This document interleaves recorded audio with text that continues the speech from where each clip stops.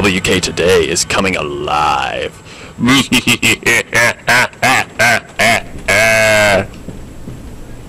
Good morning, Captains. Today is Wednesday, October 24th, 2012, and I'm Christian Kettenbeil. I'm Grace Hazlett, and this is WK Today, coming to you live from Studio 304A with your daily news. After school today, the BPA will have a meeting. SAFE will also have a meeting from 2.40 to 3.30 in room 217. There will be a PPI training tomorrow from 11 a.m. to 2 p.m.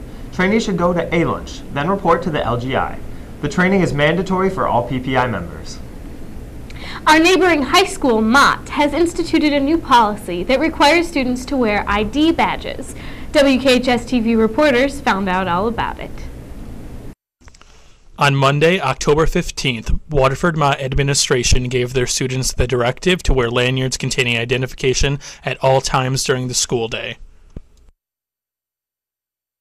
The wearing of IDs and, and lanyards is all part of our uh, positive behavior and intervention system that we put into place this year. Um, it's basically a, a, a, reteaching of some of the expectations that we have. It's all part of making sure that we have the positive culture that we want to have here in the building. One aspect of that, one small aspect of it, is asking all of our students to uh, wear their ID prominently so that we can kind of get to know them a little bit better our biggest reason, however, is that we really felt like it's a part of showing that you belong to our building, and that's what we're trying to do is to create a culture of belonging here in this building.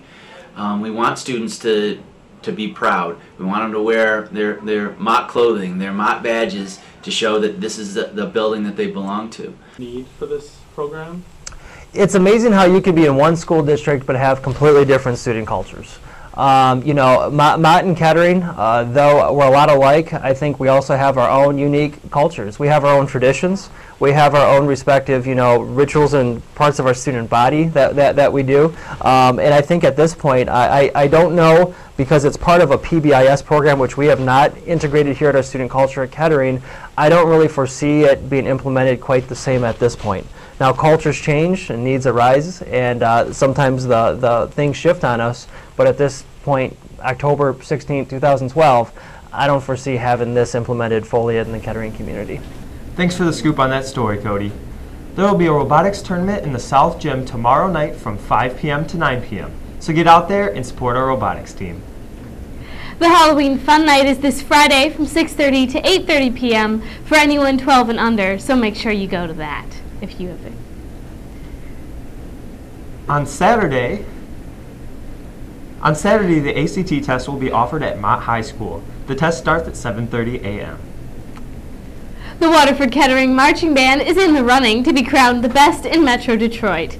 Go to www.tv20detroit.com slash contests to vote because the winner gets $1,000.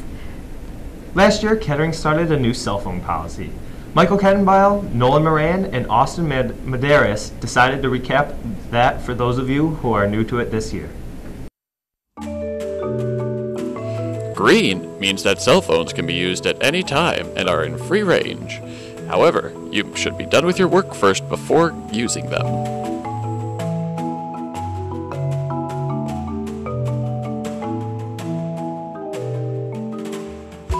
Yellow means electronics can be used, but only with permission from a teacher.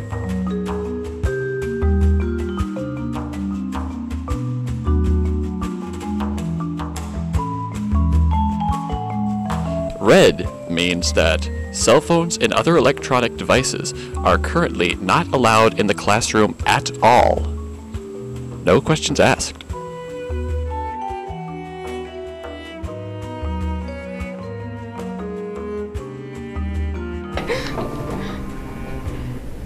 Thanks for the scoop on that, guys. Bowling season is coming up, so if you are interested in trying out for the bowling team, make sure to sign up in the athletic office. Also, there will be a parent meeting next Thursday, November 1st in the LGI at 6.30 p.m.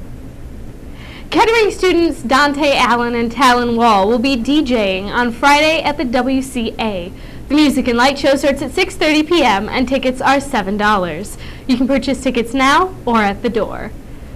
I actually heard that you can uh, purchase pre tickets from uh, Talon and um, Dante. Yeah, Dante. You Yeah, good. That's from both of them, and that's really cool. it's going to be a pretty good thing. Are you gonna go? I'm thinking I'm going to go. How about you? Yeah, I think I'm gonna try to make it. Show there.